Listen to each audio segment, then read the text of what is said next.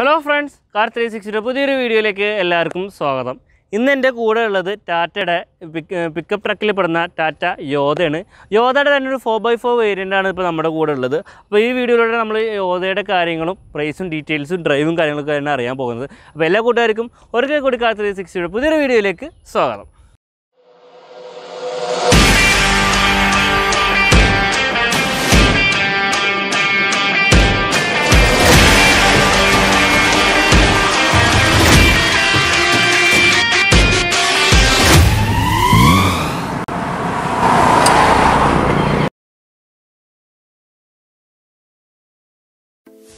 അപ്പോൾ ടാറ്റ യോധ എന്ന് പറയുന്നത് ബേസിക്കലി ടാറ്റയുടെ തന്നെ ടു സീറോ സെവൻ ബേസ് ആയിട്ടുള്ള വാഹനമാണ്. കുറച്ചുകൂടി കാലികമായിട്ടുള്ള മാറ്റങ്ങൾ വരുത്തിയിട്ടുണ്ട്. ഇപ്പോൾ ഡിസൈന്റെ കാര്യത്തിലും ഹെഡ്ലൈറ്റിന്റെ ട്രീറ്റ്മെന്റിലും കാര്യങ്ങളൊക്കെ കുറച്ച് മാറ്റി വ്യത്യാസങ്ങൾ വരുത്തിയിട്ടുണ്ട് എന്നുള്ളതാണ്. പിന്നെ അതുപോലെ തന്നെ B S six norms meet ചെയ്യുന്ന രീതിയിലേക്ക് വണ്ടിയുടെ എഞ്ചിൻ അപ്ഗ്രേഡ് ചെയ്തിട്ടുണ്ട്. അതൊരു three three litre D I വന്നിരുന്നെങ്കിൽ ഇപ്പോൾ ഒരു two litre sorry two point two litre direct injection എഞ്ചിനാണ് ഈ വാഹനത്തിൽ വരുന്നത്.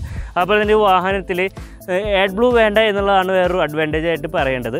ഒരു എൽ എൻ ഡി ടെക്നോളജിയാണ് ഇത് വാഹനത്തിന് യൂസ് ചെയ്യുന്നത്. നമ്മൾ ടാറ്റ വിങ്ങറിലൊക്കെ പറഞ്ഞ പോലെ തന്നെ. അതുകൊണ്ട് തന്നെ ആഡ് ബ്ലൂയുടെ ഒരു കാര്യം നമുക്ക് ഈ വാഹനത്തിൽ വേണ്ട എന്നുള്ളൊരു അഡ്വാന്റേജ് ആയിട്ട് നമുക്ക് കണക്കാക്കാം. അപ്പോൾ ബാക്കി ഡിസൈൻ എലമെൻസിലേക്ക് വരാണെങ്കിൽ നമുക്ക് സാധാരണ നമ്മളുടെ പഴയ സുമഗ്രാനിലൊക്കെ കണ്ടിട്ടുള്ള ഒരു തരത്തിലുള്ള ഹെഡ്ലൈറ്റും ട്രീറ്റ്മെന്റാണ് ക്ലിയർ ലെൻസാണ് ഇൻഡിക്കേറ്റേഴ്സിന്റെ കാര്യങ്ങൾ കാണാം. ഗ്രില്ലും അതേപോലെ തന്നെയാണ്. അതായത് അതേ ബമ്പർ തന്നെയാണ്. ഫോഗ് ലാമ്പ് നമുക്ക് ചിലപ്പോൾ ഓപ്ഷണലായിട്ട് അവൈലബിൾ അതുകൊണ്ട് ഫോഗ് ലാമ്പിന്റെ ഇതൊക്കെ അതിന്റെ ഉള്ളിൽ കാണാൻ സാധിക്കുന്നുണ്ട്. പിന്നെ നമുക്ക് അത്യാവശ്യം നല്ല കണ്ടത് ഈ ഒരു രീതിയിലാണ് ഇതിന്റെ ഗ്രൗണ്ട് ക്ലിയറൻസ് പറയുന്നത് alındı. ഇവിടുന്ന് നോക്കണമെങ്കിൽ നമുക്ക് എന്റെ ആന്റി റോൾ ബാറിന്റെ കാര്യങ്ങളും. പിന്നെ അതുപോലെ തന്നെ ഈ ഫോർ വീൽ വാഹനം ആയതുകൊണ്ട് തന്നെ ഫ്രണ്ട് ആക്സിലും കാര്യങ്ങളൊക്കെ കാണാൻ സാധിക്കും. ഫ്രണ്ടിൽ വരുന്നത് ആറ് ലീഫ് സ്പ്രിങ്ങോട് കൂടിയിട്ടുള്ളൊരു സസ്പെൻഷനാണ് ബാക്കിലും ലീഫ് സ്പ്രിങ് തന്നെയാണ് വരുന്നത്. അതിലൊരു ഒമ്പത് ലീഫ്സ് ആണ് വരുന്നത്. അത്തരം കാര്യങ്ങളാണ് ഇപ്പോൾ ഫ്രണ്ടിനെ കുറിച്ച് പറയാനുള്ളത്. ഇതിലേക്ക് വന്നൊരു വലിയ വീലാർച്ച് ഇങ്ങനെ പുറത്തേക്ക് നൽകി തള്ളി നിൽക്കുന്ന രീതിയിൽ കാണാം. ഇങ്ങനെ കാണുമ്പോൾ വണ്ടിക്ക് ഭയങ്കര വലിപ്പം തോന്നും. ബാക്കിലൊരു മൊത്തത്തിൽ എയറോ ഡൈനാമിക്സിനോട് സ്യൂട്ട് ആക്കാൻ വേണ്ടിയിട്ടായിരിക്കും അങ്ങനത്തെ ഒരു ഡിസൈൻ നമുക്ക് കാണാം.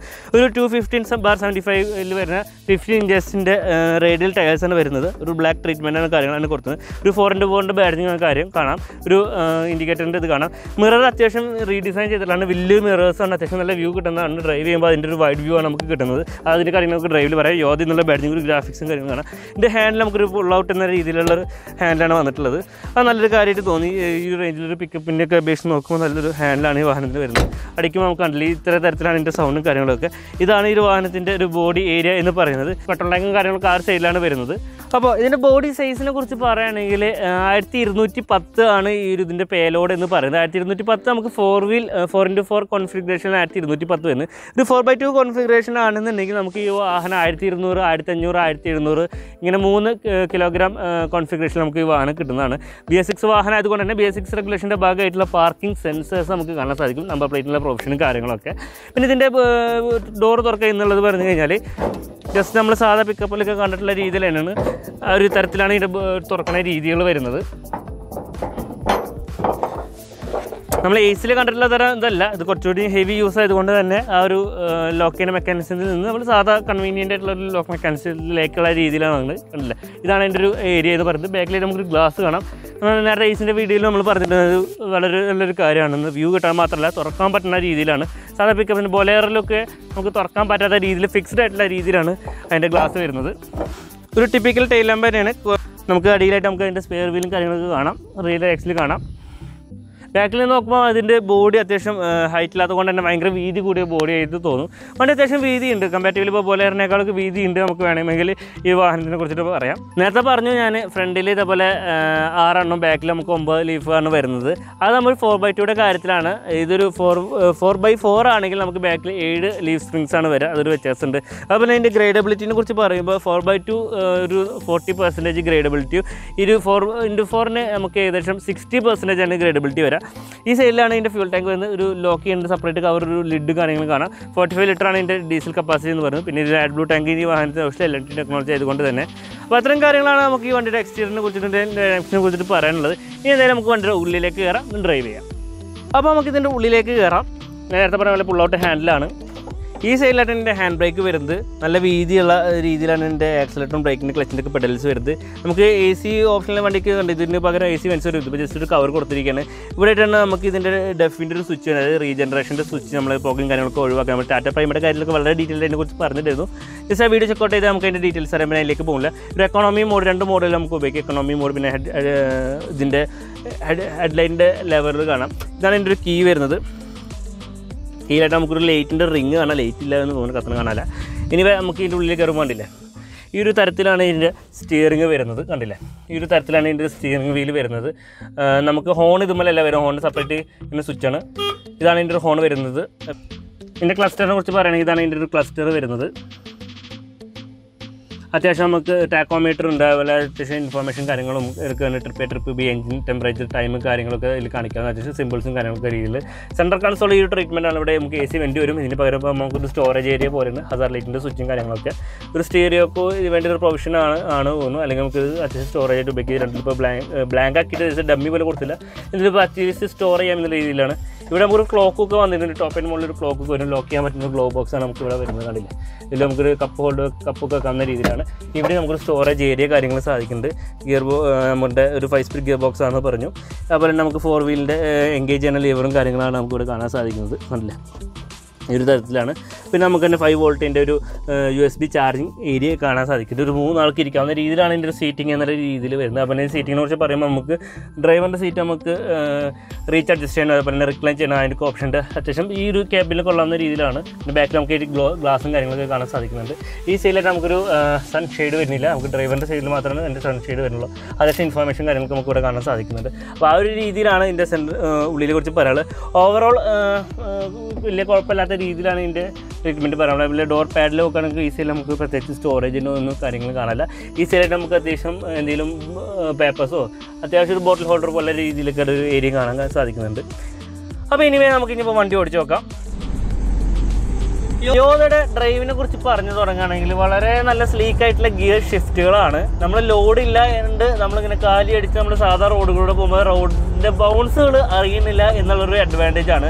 അതേസമയത്ത് റോഡിലെ ബമ്പുകൾ അറിയുന്നുണ്ടെന്നാണ്. അതായത് നമ്മളൊരു ഹമ്പ് ചാടുമ്പോഴോ അല്ലെങ്കിൽ റോഡിലെ പെട്ടെന്നുള്ള കുഴികളൊക്കെ ചാടുമ്പോൾ അത് അറിയുന്നുണ്ട്. എങ്കിലും നമ്മൾ സാധാ ഒരു ലോഡില്ലാത്ത ഒരു വാഹനത്തിൽ നിന്ന് പ്രതീക്ഷിക്കുന്ന ചാട്ടങ്ങൾ ഇപ്പോൾ ഒരു ടാറില്ലാത്ത റോഡിലാണെങ്കിൽ കൂടി ആ വക ചാട്ടങ്ങളും കാര്യങ്ങളൊക്കെ കുറയുണ്ട് അപ്പോൾ ആ ഒരു രീതിയിലാണ് ഇതിന്റെ സസ്പെൻഷൻ സെറ്റിങ്സ് എന്ന് പറയുന്നത്. ഇപ്പോൾ ഈ ഒരു വാഹനത്തിന്റെ എഞ്ചിനെ കുറിച്ച് പറയുകയാണെങ്കിൽ ഒരു two point two litre Dicor direct injection എഞ്ചിനാണ് നമുക്ക് വരുന്നത്. ഈ വാഹനത്തിന്റെ എഞ്ചിൻ പവർ എന്ന് പറയുന്നത് ഒരു നൂറ് എച്ച് പി അതുപോലെ തന്നെ എഞ്ചിൻ ടോർക്ക് എന്ന് പറയുന്നത് ടു ഫിഫ്റ്റി ന്യൂട്ടൺ മീറ്റർ ടോർക്കുമാണ് ഈ വാഹനത്തിൽ വരുന്നത്.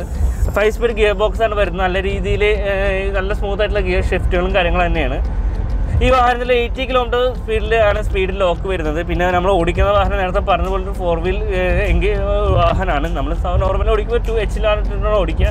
നമുക്ക് പിന്നെ ലോഡ് കൊണ്ട് പിന്നെ ഹൈ റേഞ്ച് തന്നെ അതിന്റെ ലിവർ ഇടേണ്ട ഇടേണ്ട ആവശ്യം കാര്യങ്ങളൊന്നും ഇല്ല അതുകൊണ്ട് നമ്മൾ ആ കാര്യങ്ങൾക്ക് ഒന്നും പോകാൻ നിൽക്കണമില്ല.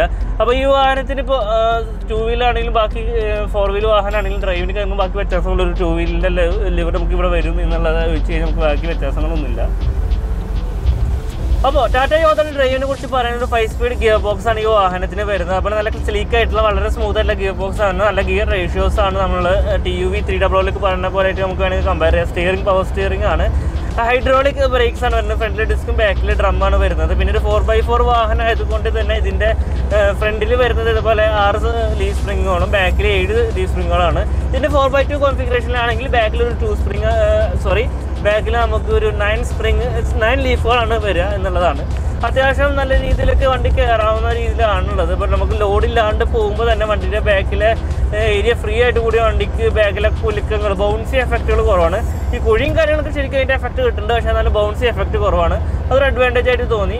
അപ്പോൾ ബൊലേറോ ഒരു വാഹനത്തിന്റെ ആയിട്ടൊരു കോമ്പറ്റീറ്റർ എന്ന് വേണമെങ്കിൽ നമുക്ക് പറയാം. ഈ ഒരു സെഗ്മെന്റിൽ കുറച്ചുകൂടിയും നല്ലൊരു വണ്ടി നോക്കുകയാണെന്നുണ്ടെങ്കിൽ ഇസൂസു ഇവിടെ ഒരു വാഹനങ്ങൾ നമുക്കുണ്ട്. ഇസൂസിൽ ആദ്യമൊക്കെ പറഞ്ഞ ഗ്രൗണ്ട് ക്ലിയറൻസിന്റെ ഇഷ്യൂസ് ഒക്കെ ഉണ്ട് എന്ന് പറഞ്ഞാലും ഗ്രൗണ്ട് ക്ലിയറൻസൊക്കെ പരിഗ പരിഹരിച്ചിട്ട് ഇപ്പോൾ ഒരു ബി എസ് സിക്സ് വാഹനം ഇതിനിറങ്ങിയിരിക്കുകയാണ് ഈ ടു പോയിന്റ് ടു ലിറ്ററിനെ കുറിച്ച് പറയുകയാണെങ്കിൽ അത്യാവശ്യം നല്ലൊരു എഞ്ചിനാണ്. ഈ സെയിം എഞ്ചിനാണ് നമ്മുടെ പഴയ ടാറ്റ സഫാരിലുണ്ട് നമ്മളിപ്പോൾ റീസെന്റ് ചെയ്ത ടാറ്റ വിങ്ങറിന് ഈ സെയിം എഞ്ചിനാണ് അപ്പോൾ അതൊരു അത്യാവശ്യം റെസ്പോൺസീവ് ആയിട്ടുള്ള എഞ്ചിനാണ് നമ്മൾ ഇത്ര വലിയ സ്പീഡിൽ പോകുകയാണെങ്കിലും ബാക്കി കാര്യങ്ങളൊന്നും അറിയില്ല എന്നുള്ളത് വേറൊരു അഡ്വാന്റേജ് ആണ് അത്യാവശ്യം റിഫൈൻഡ് ആണ് എഞ്ചിൻ എന്ന് വെച്ചിട്ട് മച്ച് റിഫൈൻഡ് അല്ല മച്ച് ബെറ്റർ എന്ന് പറയാൻ പറ്റുള്ളൂ എഞ്ചിൻ നോയ്സ് നമുക്ക് പിന്നെ ഈ ഒരു റേഞ്ചിൽ വേഗം വണ്ടിയിൽ നമുക്ക് എഞ്ചിൻ നോയ്സിനെ കുറിച്ചൊന്നും പറയേണ്ട ആവശ്യമില്ല. അതുകൊണ്ട് ആ ഒരു വക ഫാക്ടേഴ്സിലേക്കൊന്നും പോകില്ല അത്യാവശ്യം കൺട്രോൾ ചെയ്യാൻ പറ്റ പറ്റും. അത്യാവശ്യം നല്ല സ്പീഡിൽ പോകാനും കൺട്രോൾ ചെയ്യാൻ പറ്റാവുന്ന രീതിയിലാണ് ഒരു വാഹനത്തിന്റെ ഒരു ഡൈനാമിക്സ് എന്ന് പറയുന്നത്.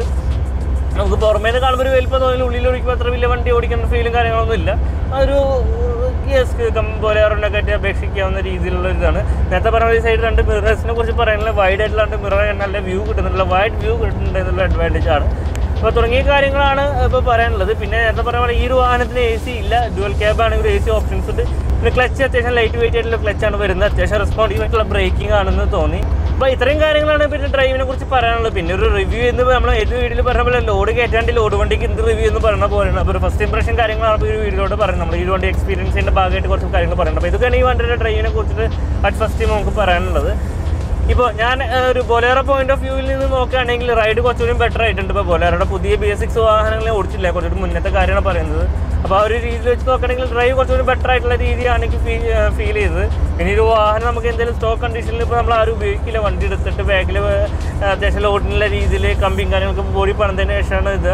ഒരു പരിധി വരെ യോതെടുക്കുന്ന ആൾക്കാർ കുറച്ചുകൂടി ലീഫ് എയ്ഡ് ഓൺ ചെയ്യാറുണ്ട്. അപ്പോൾ ഒരു രീതിയിൽ കുറച്ചുകൂടി ഇപ്പോൾ സിമെന്റ് പോലത്തെ ലോഡുകളൊക്കെ കൊണ്ടുപോകാൻ വേണ്ടി ഒന്ന് ഇരി- ഇരിക്കാതിരിക്കാൻ വേണ്ടിയിട്ട് ആ ഒരു വക നമുക്ക് ചെയ്യുന്നുണ്ട്. വാഹനം മൂന്ന് പേലോഡ് ഓപ്ഷൻസിൽ അവൈലബിൾ ആണ്. ആയിരത്തി ഇരുന്നൂറ് കിലോ അതുപോലെ തന്നെ ആയിരത്തി അഞ്ഞൂറ് ആയിരത്തി എഴുന്നൂറ് ഇങ്ങനെ മൂന്ന് പേ ലോഡിൽ ഈ വാഹനം അവൈലബിൾ ആണ്. പിന്നെ ഈ ഒരു വാഹനത്തിന് ചാട്ട കൊടുക്കുന്ന വാറണ്ടി എന്ന് പറയുന്നത് മൂന്ന് ലക്ഷം കിലോമീറ്റർ അല്ലെങ്കിൽ മൂന്ന് കൊല്ലത്തെ വാറണ്ടി അത്യാവശ്യം നല്ലൊരു വാറണ്ടി പീരീഡ് തന്നെയാണ് നമുക്ക് പറയാം.